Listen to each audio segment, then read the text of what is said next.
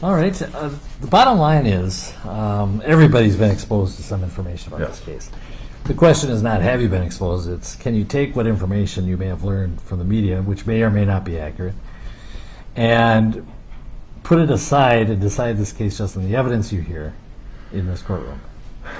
And I know you expressed some concerns about being able to do that. And I'll tell you what I tell all the other jurors, which is if that's your honest opinion and you can't put it aside, uh, can't unring the bell, so to speak. Yeah. Perfectly legitimate position if it's an honest one. So what do you think?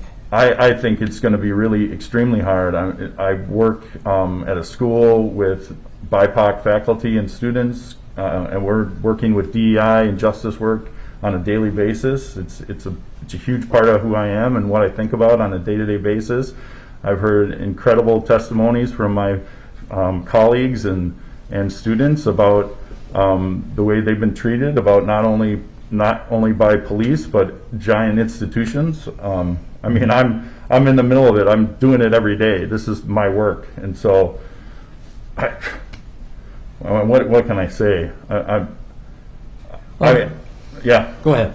I, I, of course, I'm, a, I'm an educator, so I can, I can listen and, and I'm not going to purposely do anything, you know, to break the law or perjure myself or anything. I'm not looking to do that, but yeah, I'm, I'm just, I'd be a horrible candidate, I think, because of what I do. I couldn't go back to work and, and look at my colleagues and students, I don't think, after this, no matter what happens, and, and feel like my life hasn't been changed somehow permanently. I, I also want to go, I want to let you know that on my way in, um, I was asked for my ID by a police officer, and he held it up in front of his iPad and looked at both sides. So my name has been compromised, in my opinion, and I, Okay. I'm extremely unsettled about it. I, I can't even stop shaking. Okay. Um, Well, I can tell you the reason why they did that is to make sure that nobody passed their letter with the number, because we are very concerned about, you know, your privacy. Well, yeah, a police officer looked at my, my ID and knows my name, uh, and that's a big problem for me.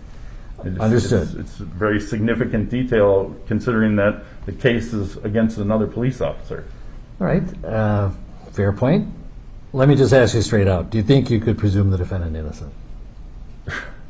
And and not try, but actually could? No, I, I'm, Okay. I'm almost sick to my stomach right now. Okay. Well, you know what? I'm going to alleviate that because I'm going to excuse you from this panel. Appreciate it. And so if you could give the paperwork to the deputy on your way out, but thank you for being open and honest with us about Yeah. your feelings. So, all right, thank you.